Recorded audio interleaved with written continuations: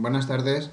A pesar del buen cierre que tuvo ayer Estados Unidos, propulsado por el precio del petróleo, que subió casi un 4%, hoy Europa no ha sido capaz de seguirle los pasos y es más, como vemos, pues hemos tenido una sesión bastante floja, especialmente en el IBEX, que está bajando casi el doble de los demás.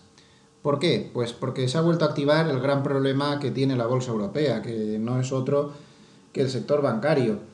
Esta noche el Banco Popolare en, Italia ha dado malos resultados, un banco que está ya en entredicho por todo tipo de, de problemas, caía al 14%, en Austria también ha habido problemas con algún que otro banco y el sectorial bancario pues ha vuelto a tener problemas. Esa es la razón por la cual el IBEX, al que afecta mucho este sector, pues está bajando más que los demás. También hoy ha habido problemas en el sector de utilities porque el gigante alemán EON pues ha dado resultados que no han gustado, ha habido una serie de comentarios sobre los costes nucleares que tampoco han gustado, se ha desplomado y ha arrastrado consigo a su sector.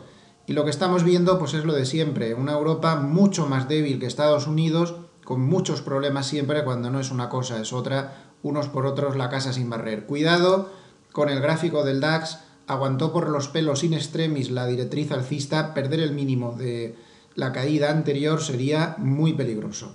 Gracias y hasta luego.